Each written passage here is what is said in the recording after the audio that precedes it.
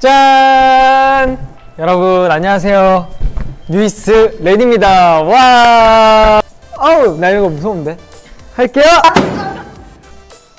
내 일상에서 빼놓을 수 없는 한 가지는 진짜 현실적으로 어, 답해드리면 어, 핸드폰이 되지 않을까라는 생각이 들거든요.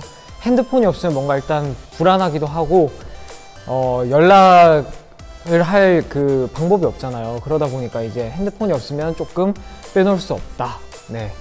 그리고 또 뭐, 어, 조금 추상적으로 말씀드리면 우리 러브분들을 또 빼놓을 수가 없겠죠? 이 친구 한번 뽑아볼게요. 아플 것 같아. 미안해. 터질 때마다 뭔가 되게 대박이 날 것 같은 그런 느낌이 듭니다. 자, 다음 질문지입니다.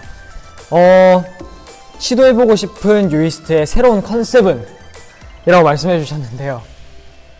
그러면 저희가 이제 데뷔 8년 차에 굉장히 어, 활동을 많이 하다 보니까 거의 안 해본 컨셉이 없는 것 같습니다.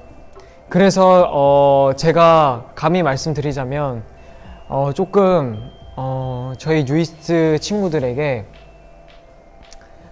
어, 뱀파이어 컨셉이나 아니면 뭐 조금 다크한 그런 느낌 있잖아요. 되게 어, 뭔가 할로윈 파티 그런 느낌의 뭔가 컨셉을 한번 해보면 되게 컨셉슈얼하기도 하면서 뭔가 재밌을 것 같은 그런 생각이 듭니다.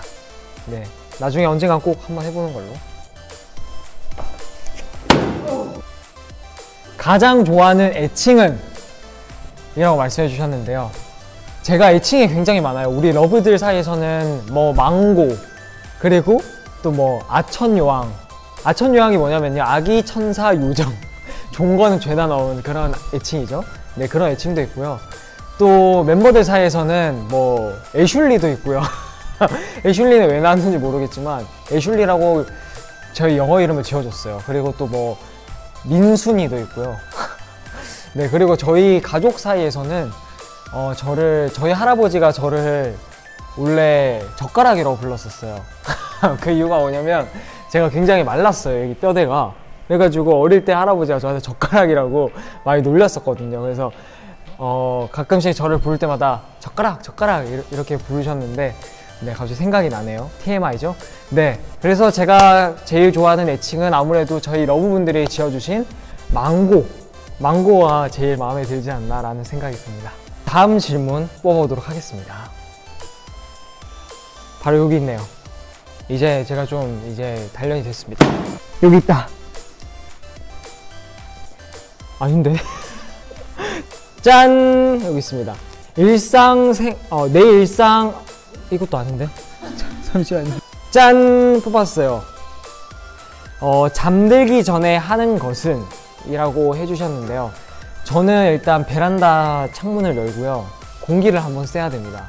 뭔가 이 리프레쉬를 해줘야 잠들기 전에 뭔가 어, 잡생각을 안 하고 잘 잘 수 있는 것 같아서 그래서 창문을 항상 열고 뭔가 조금 오늘 하루 일과를 어, 어, 되짚어 보면서 조금 이제 정리를 하고 그 다음에 잠에 들곤 합니다. 아 그리고 베개 끌어안기. 네.